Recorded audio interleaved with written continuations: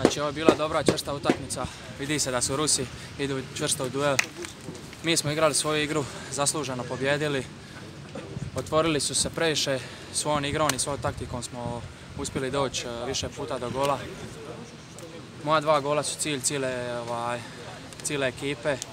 Nisam tu ja bitan, dobro smo igrali i, i zasluženo pobjedili.